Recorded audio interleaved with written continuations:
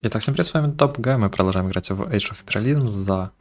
Внезапно, это Австрия, да, ребят, Австрия с Гитлером. Мир достаточно смешной и любопытный, ну, а вы, если вдруг еще не подписаны, обязательно подписывайтесь, а мы же продолжаем. Поехали. Так, новая внешняя политика Германии. Так, звучит очень неприятно. Да, они там, ребят, вот этих всех э, аннексируют, присоединяют, и вот это все некрасивое. А мы-то, конечно же, делать никогда не будем, поэтому продолжаем а, присоединять э, добровольно наших субъектов, верно? И Румыния присоединится к Рейхспакту, черт, да, нас действительно окружают. Венесуэла туда же. Но ничего, мы доделаем армию, у нас будет, по крайней мере, пехота на то, чтобы держать успешную круговую оборону. А из круговой обороны, как известно, можно наступать в любом направлении. И вот на Хорваты и Словенцы. С ними мы разобрались. Уберем наш дебаф, аннексируем. Германия требует выплаты долга. Ну, сейчас пойдет между Германией и Францией, но у нас сейчас будет Дунайская Федерация. Нам Германия и Франция эти не сильно интересны. Ой, смотрите-ка, тут, оказывается, Россия вступила в союз с Францией. То есть мы как будто, так сказать, вне этого конфликта. Мне это, наверное, устраивает. Хотя я бы, наверное, сам нанес удар по Германии. Посмотрим сейчас. И вот оно, создание Дунайской Федерации. Получаем мы себе приятный баф на Manpower, стабильность и немножко экономики. Наконец, значит, надеюсь, начнем а, политику откачивать. И да, мы вот это все получили. Полностью, я думаю, распускаем, чтобы новые дивизии уже обучать по нашим стандартам. Ожидающий удар Германии по Японии, на Тихом океане тоже там что-то начинается. Мы чисто, ребята, сидим и this is fine. Так сказать, картиночка, вокруг все воюет, а мы тут это объединили империю, у нас тут все хорошо. И давайте-ка пойдем, я думаю, в уроки прошлого. Соединимся с Британией и возьмем британскую инженерию. Минус 15 стоимость бронетранспортеров звучит очень приятно. Ну и пехотка и грузовики тоже бафнуть. Звучит их неплохо. С класса на востоке Европы, да. Россия с Германией, ну они уже давно эскалировались, мне кажется, и давно уже тут происходит битва. Ничего для нас нового. И, наверное, я выбираю именно на Германию акцентировать все свое внимание. Думаю, нет смысла мне на востоке смотреть. Я не думаю, что Россия нападет сама во время войны с Германией. Так что можем как-то вот так наши кстати, приоритеты расставить. Я думаю, танки мы сделаем какие-то вот такие, потому что у нас потом будет баф на 30% организации танков. И я думаю, это будет сильно. Сюда сейчас еще огнеметный добавим. У нас есть такое же название. Такого названия, пожалуй, нету. Можем уже их заказывать. А, давайте штучек 6, и нам понадобится очень много танков к ним, конечно же. Механа, наверное, кстати, не так много. Можно вот так сделать, у нас еще и скидка будет большая. Я думаю, пойдет. О, 300 политики. Вот это и даст нам, кстати говоря, ячейки исследований все нужные. И да, время стимулировать военную промышленность. Это точно. Ура, ячейки. Раз. И ячейка сейчас будет, ну, скоро два. Прелесть. А вот и шестой слот исследований. А теперь стало играть намного приятней. И у нас есть вариант, кстати говоря, пойти во флот немножко и получить себе еще 5 верфей, и производительность верфей очень жестко поднять. А, но, честно говоря, я не думаю, что нам это надо. У нас все битвы будут на земле. Говорится, невероятно, я не иду во флот, но да. Это та игра, где мне он точно не нужен. А вот э, докачать армию, пожалуй, мне точно стоит. Но перед этим давайте все-таки наше место под солнцем и... Посмотрим, что мы можем тут сделать. И можно, кстати говоря, начать с Швейцарии. Я так, пожалуй, и сделаю. У меня есть туда гарант стрелки, если что, какие-то. Сейчас посмотрим. Может, они вообще, кстати, согласятся. Это будет, наверное, идеальным вариантом для нас. Если нет, придется немножко помочь им согласиться. Так, мы отправили ультиматум, и они соглашаются. Слушайте, это действительно идеальный для нас расклад. Мы теперь можем сделать вот так. Ультиматум Румынии давать нет смысла. Давайте сразу ультиматум Германия. Другая германская война. Поехали. Легко переслала попереставляла всех советников на макс эффективность производства, где возможно. И да, она немножко, скажем так, э, возросла. Сейчас мы поддогоним ее, и, блин, наше производство сейчас просто улетит в космос. Итак, баварское рабство, абсурд преследует абсурд. А, мы отправили предложение Красу Баварии стать федерацией, но ответа не последовало. Ну, конечно, он заложник, надо его обязательно спасать. Сразу идем мы, я думаю, уже вот сюда, Здесь у нас все фокусы уже нужные и готовы. Начнем докачивать нашу армию и авиацию. Приоритетнее, наверное, армию, но быстрее мы получим баф на авиацию. Если я, конечно, хотел бы дотренировать всех своих ребят, вот этих вот, и танки. Так что сейчас мы их закончим, а потом объявим войну. Ну, я думаю, мы достаточно уже готовы. Мы очень жесткую доделали промышленность. Здесь немцы уже наступают в Россию, зато французы в Италию. И, кстати, здесь граница такая непонятная. По ощущениям, французы все-таки там тоже побеждают. И сейчас происходит фактор X, так сказать. Вносит коррективу в вот войны. Австрия готова вступить в войну. Поехали. И сразу же у нас тут зелененькая много где. Где-то все еще есть, конечно, проблемы, но а, у нас слишком большое численное преимущество. Кстати говоря, Италия сразу не вступает в войну, но я думаю, это лишь вопрос времени. Да, Бельгия, Нидерланды, кстати, все еще нету Дании. О, нет, Италия. Ждем, ждем. Пока что. Я думаю, в один момент они обязательно вступят. Ну и мы очень успешно пробиваемся. И это еще наши танки не начали действовать. А теперь с танками, да, ситуация вообще кардинально меняется. Сейчас мы, я думаю, разрежем Германию пополам и заставим ее снабжаться по морю. А там уже Британия, я надеюсь, по крайней мере, как-то что-то с этим сделает. Вот давайте тогда вот так сделаем, 25 дней, делаем сами КБ, раз они не хотят вступать в войну, мы составим их вступить в войну, объявив сами войну. И вот здесь вот у меня также армия стоит на всякий случай в обороне, хотя могла бы идти в атаку, но я жду, пока здесь граница как-то станет чуть поадекватней. И австрийцы захватывают Берлин. Вот это вам настоящий блицкринж по-австрийски.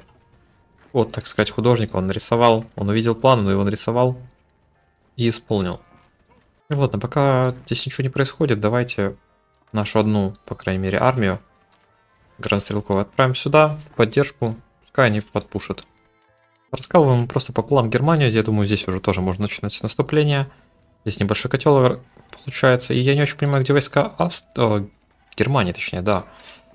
По ощущениям, они где-то, ну, во-первых, в котле, а во-вторых, наверное, вот здесь и вот здесь как-то дивизии маловато, маловато, 188. Видимо, она разбрасывала их по своим колониям и по всем разным непонятным фронтам.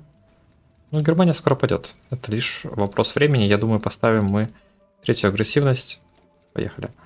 А Югославия. Мы ничего не можем с этим поделать, реально, увы.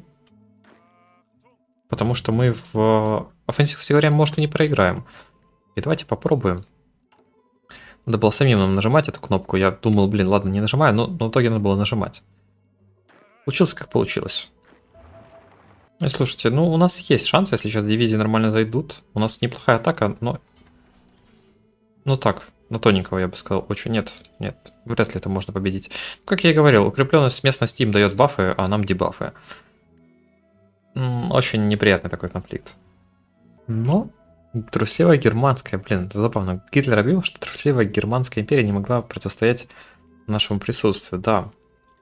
А, тем не менее, это правда. Германия пала, мы уверенным ударом своим австрийским сапогом ее задушили. И можем теперь мы интегрировать всех немцев в один рейх, как говорится. Только теперь австрийский.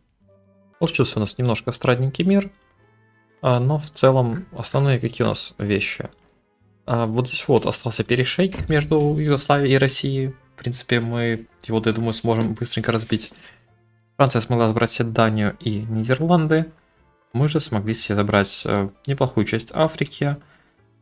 Очевидно, всю Германию, Бельгию и Люксембург. И самое главное, Эльзас, получается, французы не получили. Остается, кстати говоря, еще добить Италию. Италия это все еще как странно здесь живая. Давайте разберемся по-быстрому с ней. А теперь, кстати говоря, мы отправим унижение Югославии. Пускай они теперь байтятся, ну, то чтобы с нами что-то сделать. И начинаем включать Германию в наш состав. И соперник унижен. Прелесть. Именно так и было запланировано. Давайте теперь э, нечто такое же попробуем сделать с французами. Потом и с Россией. У меня здесь танки для этого готовятся. Танки, я думаю, без проблем. У них любые дивизии даже в атаке разнесут. Но мы теперь исследуем логистику окупной войны. У нас с содержанием вообще все супер теперь, как будто. Потом еще будет планирование. И получается у нас идея в чем была, видимо, Австрия.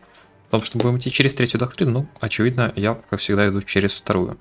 И здесь дойдем вот до сюда. Бронетехника плюс прорыв, плюс 30 организация, восстановление, атака, оборона и, самое главное, скорость. Прелесть. Теперь то же самое с Россией. Смотрите, они решили сделать пограничный конфликт. Ну, как и ожидалось, уж в обороне наши войска точно непобедимы. Австрийцы забрали Рим. Чуть остается, с никаких союзников они не призывают, только упрощают для нас всю вообще задачу. Ну и добиваем уже Сицилию, я думаю, Сицилия это точно должна уже пасть, а Италия, а то она как-то долго очень жила. Палермо, да, слава богу. Слава богу, и, кстати, мы не так много можем забрать себе. Кто-то я бы, наверное, Югославию отдал, чтобы ее было удобнее есть. Я не хочу туда войска еще какие-то вести. В итоге это забирает кто? Королевство Россия. Так понимаю, окей. Россия меня устроит. Опять-таки, главное, чтобы у них был там один альянс. Остальное меня мало интересует. И, наверное, я бы хотел лишние горы не пробивать, поэтому забираем себе Пьемонт. И, в принципе, я бы хотел, наверное, еще и Африку, потому что у нас в Африке тоже много территорий уже.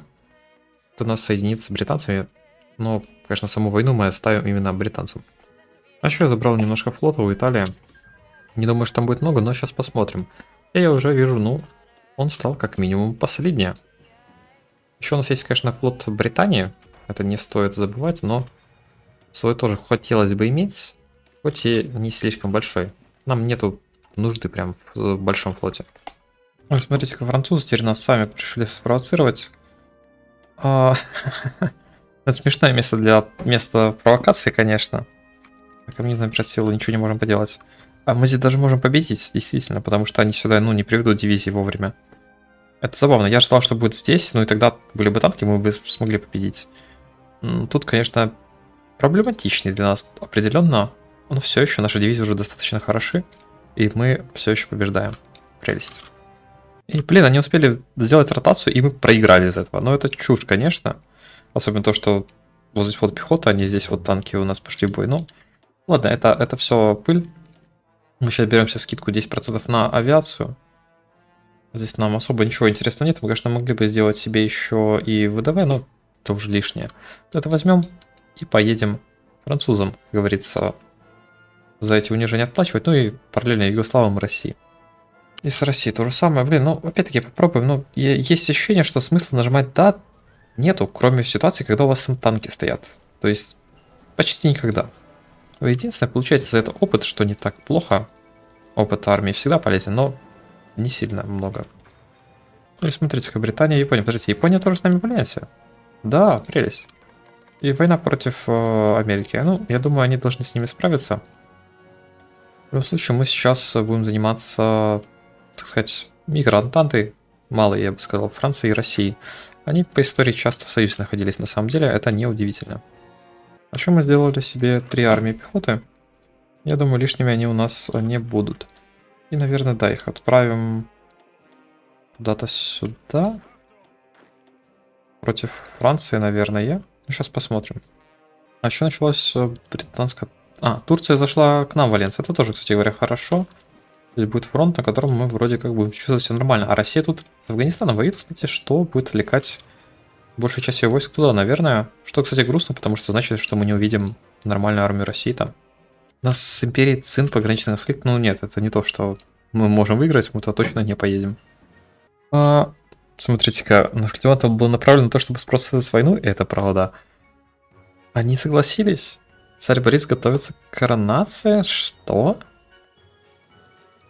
Случилось невозможное? Реально? Это реально? Подождите. Это реально? Югославия затерпела, хотя уже в Альянсе? Звучит супер смешно. Я еще и не тот э, приказ, кстати говоря. С... А нет, снес я тот приказ, не та армия выделена. Окей. А, ладно, у нас уже скоро будет просто 5 армий горнострелков, что безумно круто. И да, я теперь не знаю, ладно, буду просто делать сам КБ. У меня все ультиматумы здесь прошли. Да, выглядит очень забавно. Но теперь мы можем больше горнострелков, пожалуй, отправить вот сюда, против французов. И это, несомненно, хорошие для нас новости. А еще мы капнули Константинополь, потому что, в принципе, можем. А вот эту армию давайте тогда сюда отправим. Пойдем на Кавказе воевать ими. У нас есть на все это возможности. Давайте их реализовывать. Ну что я думаю, мы готовы к началу новой войны на два фронта. Гитлер готов к этому в этот раз действительно только мы Австрия. Ну а с вами был Добгей. Обязательно подписывайтесь, если вы вдруг не подписаны. Лайки, комментарии, Twitch, Discord, все как обычно. И до скорых встреч. Всем пока.